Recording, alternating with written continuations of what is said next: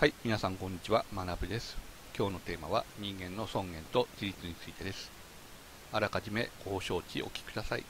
この動画は第33回介護福祉士国家試験を受験されるヘルパー介護職員初任者の方を対象にお話しさせていただきます。ですので、それ以外の何かを期待する方はチャンネルを閉じてください。改めまして、この動画をご覧になっている介護職員の皆様、お仕事お疲れ様です。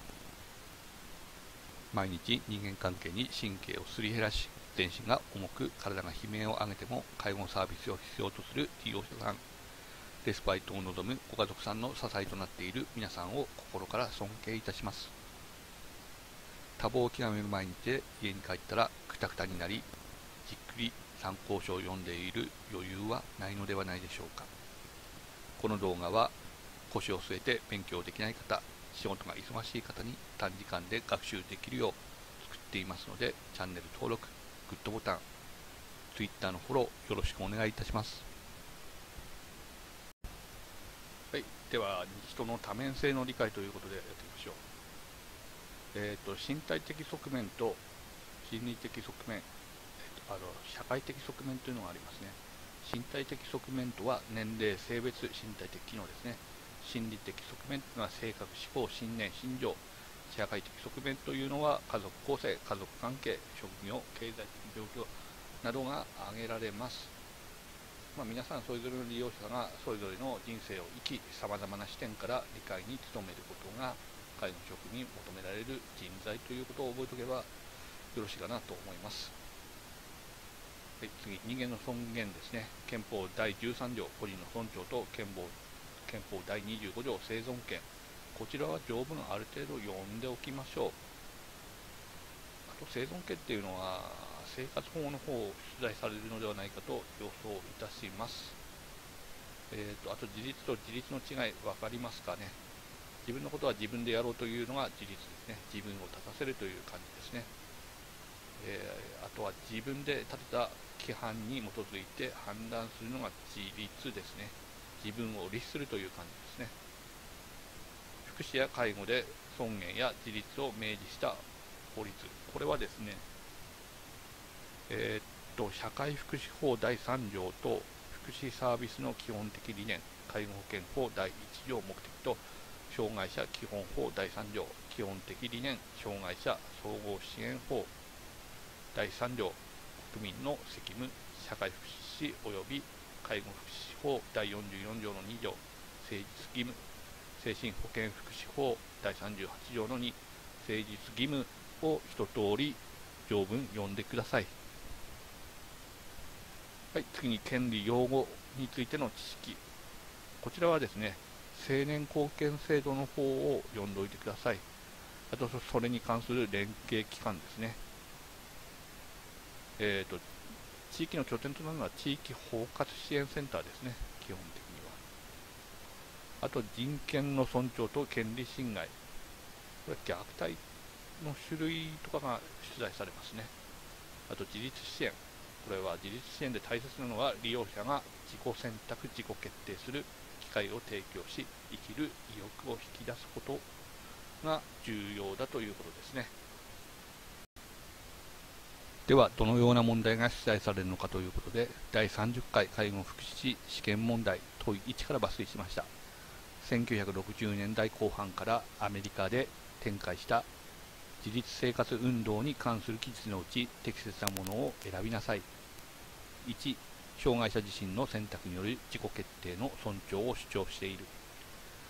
2、障害者の自立生活は施設や病院で実現されるとしている。3、ゆりかごから墓場までの実現に向けた制度設計を目指している。4、障害者が機能回復を図ることを自立としている。5、介護者を生活の主体者として捉えている。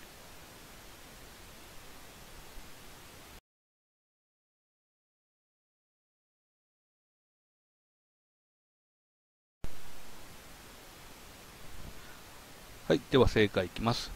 これ正解は1番ですね。障害者自身の選択による自己決定の尊重を主張している。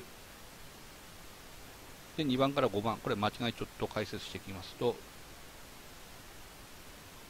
2番は自立生活とはどこに住むか、いかに住むか、自分で生活を賄えるかを選択する自由を言います。それは自らが選ぶ近隣のコミュニティの中で生活することです。3番、ゆりかごから墓場までと言われる包括的な社会保障を確立したのはイギリスです。4番、自立とは身体的な側面だけではなく社会的、経済的及び精神的な側面もあります。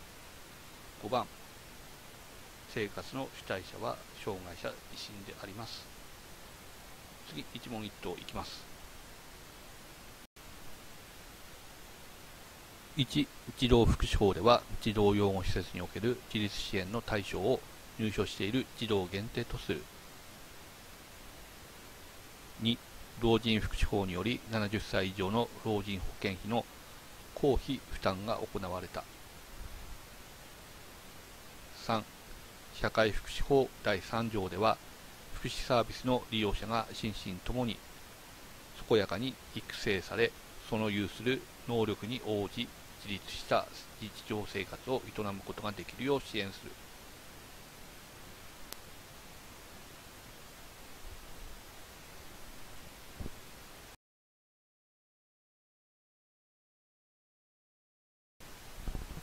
はい、それでは回答の方していきます。1番、児童福祉法では児童養護施設における自立支援の対象を入所している児童限定とする。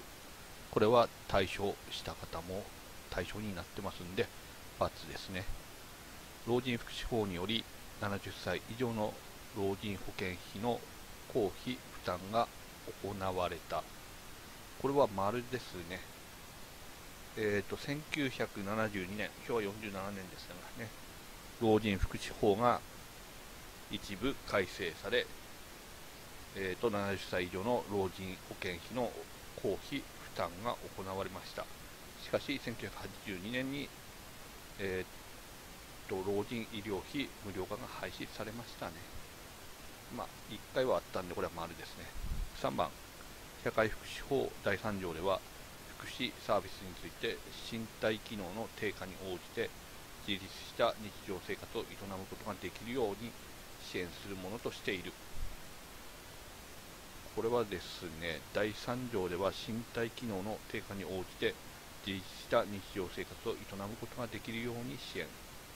ではなく福祉サービスは個人の尊厳の保持を旨としその内容は福祉サービスの利用者が心身ともに健やかに育成されまたその有する能力に応じ自立した日常生活を営むことができるように支援するものとしています。ということでこれは×ですね。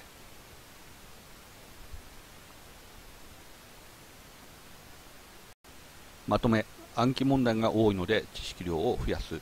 問題が時代にマッチしてない場合は間違いです。過去問の動画についてはこれから作ってきますんで少々お待ちください。ここでですねおすすめの参考書を紹介いたします。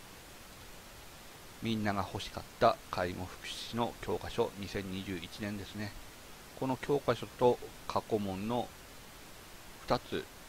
この2つやっていけば十分に試験対策になるのかなと思います。今回の動画で説明が不十分だった内容は私のブログである現役介護士の働き方に書いてあります。ですので動画下の概要欄にリンク貼りました。